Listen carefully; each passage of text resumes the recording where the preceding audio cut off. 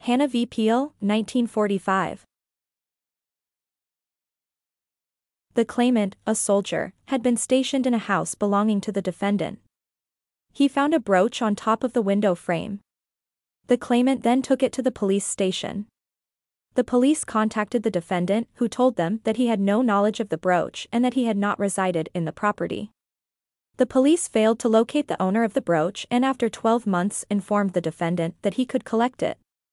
The defendant collected the brooch and sold it. The claimant learned of this and brought an action against the defendant to recover the proceeds of sale contending that as the finder of the brooch he had a better title than the landowner. The claimant was successful following Bridges v. Hawkesworth. The brooch was not attached to nor beneath the surface of the land. The landowner was not aware of the existence of the brooch until it was brought to his attention by the police.